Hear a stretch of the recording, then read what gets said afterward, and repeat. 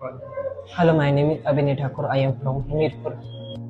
I have done Potech from Government Polytechnic College, Badu. Currently, I am doing graphic designing from Excellence Technology Hamirpur. If you want to build your career in IT sector, then join Excellence Technology. Thank you.